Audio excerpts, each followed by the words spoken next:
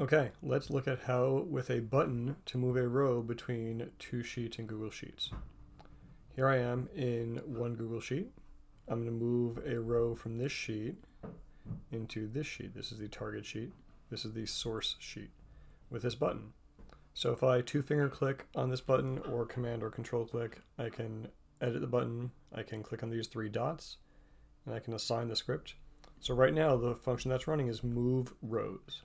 So let's go see what that does. Let's go Tools, Script Editor. And in here, let's Command F for Move Rows and find where that is. There it is in the Move Rows file. It's also in General, but it's in the Move Rows file, the one we're looking for. So here's our script. As you can see, there's a lot of comments in here. That's more just, you don't need this when you're actually writing the code in all cases. Comments are great so that later you can remember what you did or someone else can know what you did. But I have a lot in here for educational purposes. I also have a lot of logging in here. Logging just means printing somewhere so we can see what happens at that part of the code. So the code also is at GitHub right here if you do want to go and download the code or use the code. So what this does is when you click the button in the sheet right here, it runs this script. It will log this just so you know the script is running. It will then do a confirmation check. It will just pop up a box that says, are you sure you want to do this? Generally a good idea, but you don't, you don't need that. And then in this section, as you can see, we will get the data we want to move. So I put these comments in here so we can be really clear what's happening each step. So to get the data we want to move, we'll start by just getting the active sheet. The active sheet is wherever this button is. Because if I click here, the script will run. It will say what sheet is active right now. This is the sheet I'm on. This is the active sheet.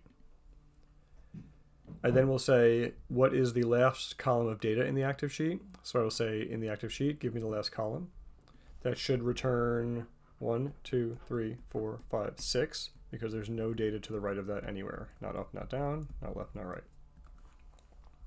And then I'll log that. So it'll log this term and then the number so I can see what's happening. I'll then get the number of the row to move. So this comes from whatever I'm selecting. So if I'm selecting this cell, it will return 11, the cell 16, the cell 19, and so on. So whatever row I'm selected, that will return this number. So it will be active sheet, get the active range, which is what I've selected, and get the row from that. And then I'll print that also so I have that. Then I'll get the range I want to copy. So range to copy from, again, grab the sheet and get the range. Get the row that I just have selected. Starting in the first column, give me one row and give me the number of columns that are in the sheet. So this will give me, again, selected. So let's say I have, let's say I have that cell selected it will return row 19, starting in column 1, give me a total of one row, going to column 6. So it will return this range right there. And that's it for getting the data we want to move. Then we want to copy and paste it. So first we get the target sheet. We run some library code that Google has already written for us. So we use the spreadsheet app object, we get the active spreadsheet, then we get the sheet by name. So we're going to get the sheet, move rows, target sheet script. And that is that sheet right there. Then we'll get the last row in that sheet because we want to paste the data into the, the row after the last row, the first blank row. So this will get us the last row in the sheet that has data. So it should return 11. We'll then print that in case we ever need to test it to make sure it's working right. Then we'll get the range to paste to, just like we got the range to paste from. Now we'll get the range to paste to. Target sheet, get the range. Last row in target sheet plus one, right? So if it returned last row in target sheet was 10, the row I want is 11. So we'll say get the range starting in row 11, column 1, for a total of one row, and six columns, same as the number before.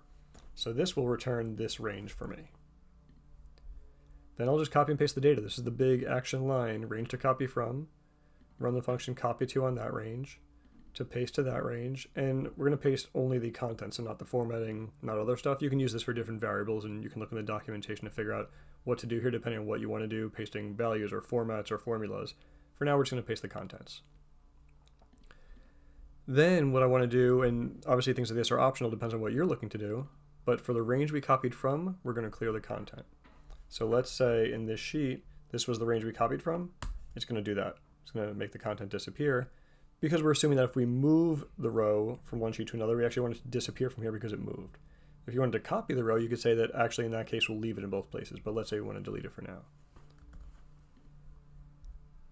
And then we're going to source the sort the source sort the source sheet. So right here, if we delete it, we then would sort all this data so we could get rid of this row because then it would just sort all the content and this blank row would disappear. Again, optional, but a nice thing to do if you want to get rid of that blank row. So we'll get the last row of the data in that sheet. Again, the active sheet is where the button was clicked, so it's this source sheet. The range to sort, like usual, we'll get a range starting in row 7, starting in column 1. Get this number of rows, which is the last row of data minus 6 because we want to get to this last row 1581, but we don't need these first six rows. So the total number of rows is 1581 minus 6, which is a total of 1575. That's what that would return. And then last column, because that's the range we want. So this one will return this range from A7 all the way down to F1581, that entire range. Then when we have that range, we'll just range to sort, sort it. And then we'll sort based on column 1, order ascending true. So again, you can pass in more than one column. You can do different things with these this data that you pass in, but this will sort just based on that first column. And then we'll have a pop-up box tell us we're done. And then just some more comments here so we know where we're closing the code back down here. So let's see this in action. Let's click on, let's say we want to move row 8. Let's click the button. Here's the confirmation box. Click yes. There it goes. It moved the row. Once I click OK, you'll see this row will disappear because it will then sort this sheet and because there's blanks here, it will that will sort to the end. Click OK. And it's done. And now if you want to see the logs, we can see view, logs, and there's what we printed during the script. So if we ever have to debug or there's an issue, we can always print things and look at them here. Sometimes things print also to this other dashboard, so just be aware that if things something's not printing to this log, it might be printing to this log. And as I said, the code's in GitHub if you do want to go here and look at it. Thanks.